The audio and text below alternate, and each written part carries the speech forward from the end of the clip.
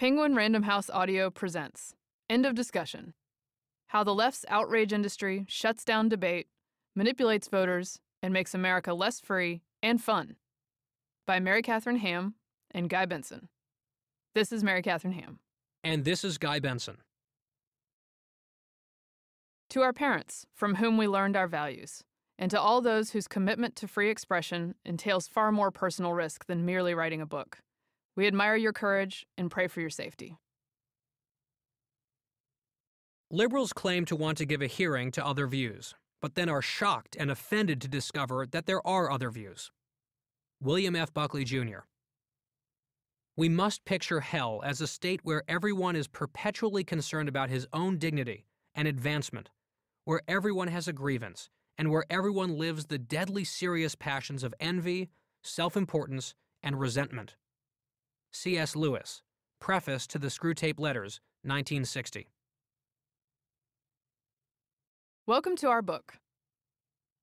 Greetings, friends, acquaintances, fellow conservatives, curious liberals, and people who feigned gratitude upon receiving this book as a gift from a right wing relative. Welcome to our conversation about America's dysfunctional national conversation. Before we dive right in, we want to begin by thanking you for, theoretically at least, caring about how we as Americans debate issues and exchange ideas. If you're on the conservative end of the political spectrum, we suspect that you'll agree with much of what you hear in the following program.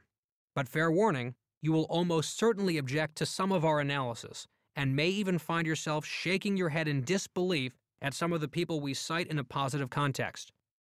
Feel free to keep a running list of our rhino, Republican in name only, apostasies, and enumerate them in an angry email. But please try to commit to at least finishing the book prior to clicking send. We can be reached at filthy.spinelessrhinos7 at gmail.com. We cannot actually be reached there. If you're not a self identifying conservative, and especially if you place yourself on the left side of the political spectrum, we're exceptionally glad you're here. Seriously, investing the time to ingest tens of thousands of words written by two right wing bloggers, people employed as talking heads on faux news, no less, is probably well beyond the scope of your comfort zone. In the likely event that you end up disagreeing with much contained in the program that follows, please do hold your nose and soldier on. We're confident that there are enough morsels of intellectual honesty, self criticism, and hopefully amusing content to sustain you along the way. We believe in you. All right. Let's do this. Chapter 1 Head Explosions. You're perched in front of your laptop, eyes boring holes into the screen. A familiar, uneasy feeling swells inside you.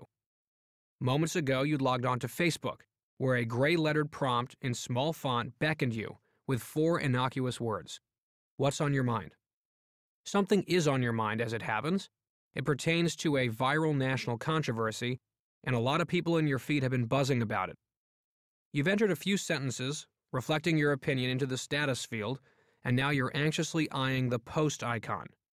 One click, and your take will officially be on the record, permanently. Sure, there's an edit button and a delete function, but the internet is forever. You've posted hundreds of statuses before, accumulating countless likes and sparking a handful of debates, but this time feels different. The hot story du jour is fraught with, let's call them sensitivities. A significant number of people in your friend orbit aren't going to agree with your mini commentary. That's fine with you, in theory, but you're increasingly aware that disagreement of this type may not end well. You've seen it happen. Angry comment flame wars erupt, friendships are strained or dissolved, heavy duty names are called, and motives are impugned.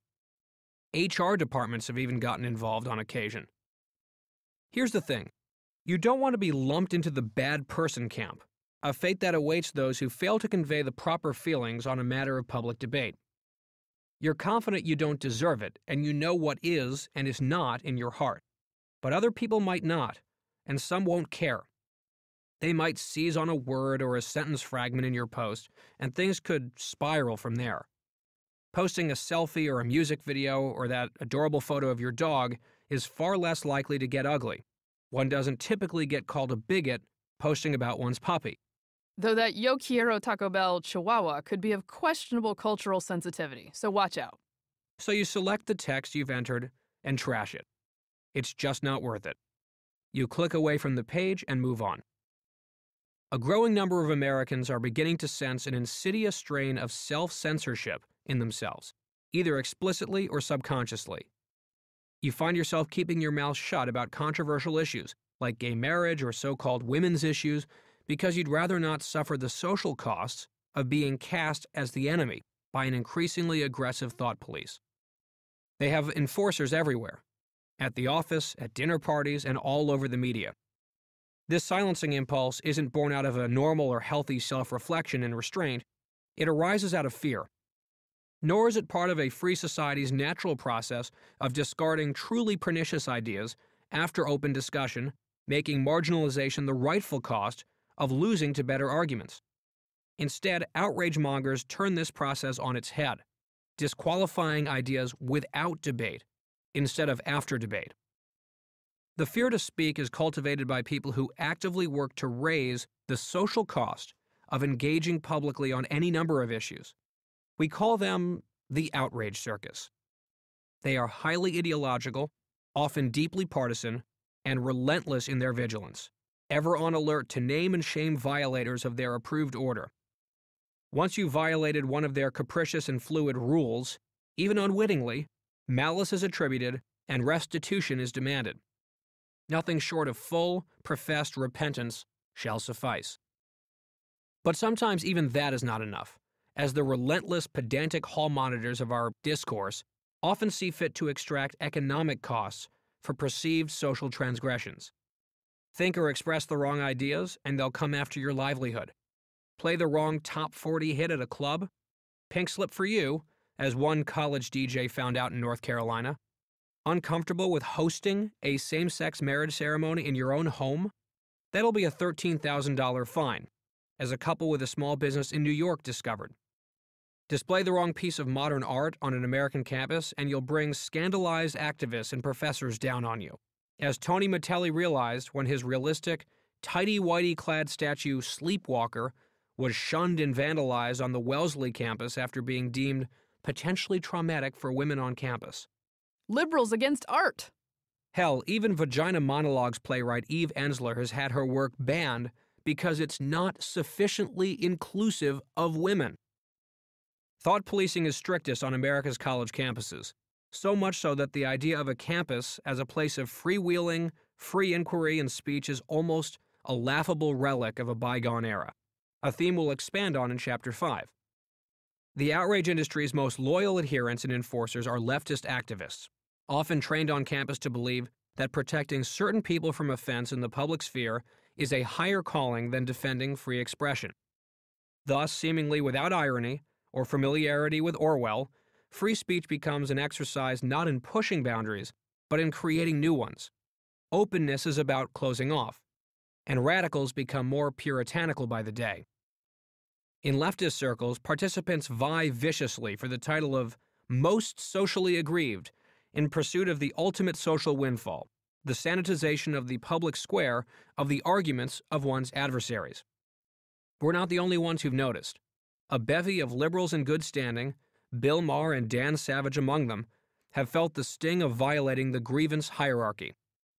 Jonathan Chait, in a 2015 essay for New York Magazine, called the new PC a quote, style of politics in which the more radical members of the left attempt to regulate political discourse by defining opposing views as bigoted and illegitimate, end quote. This system, he wrote, quote, makes debate irrelevant and frequently impossible. It might be fun to watch this snake devour itself from the tail in a paroxysm of censorship if it weren't for the fact that the outrage circus is so intent on exporting these practices to the rest of society and unhappily for us, their regulations are most unsparingly enforced against conservatives of all stripes. Commenting outside the ever shifting lines of correct thinking and pre approved terminology has always been a problem sweated by politicians and their publicists. No more. While public figures still bear the brunt of the circus's acrobatics, normal people are no longer exempt. If moments of heterodoxy among liberal lights are punished, imagine what, say, a libertarian homeschooling mom might be in for. Thus, some are turning to self censorship as the hassle free, easy way out of being attacked. But it also results in being left out of the conversation. This move towards acquiescence isn't just limiting, it's dangerous for society. North Korean and Islamist terrorists brought new attention to the problem in 2015 in dramatic and tragic fashion, throwing into stark relief the choices and dangers free society faces. In the case of Sony's The Interview and French satire magazine Charlie Hebdo, those who found artistic speech offensive launched criminal and unspeakably violent attacks with the object of preventing such speech in the future. A disturbing number of Free Society's spokespeople and publications failed to defend that speech, some even arguing for self censorship in the face of these attacks. If we're not willing to fight bullies with keyboards and petitions, we're certainly not going to stand up to bullies with machine guns. We hope you enjoyed this preview. To continue listening to this audiobook on Google Play Books, use the link in the video description.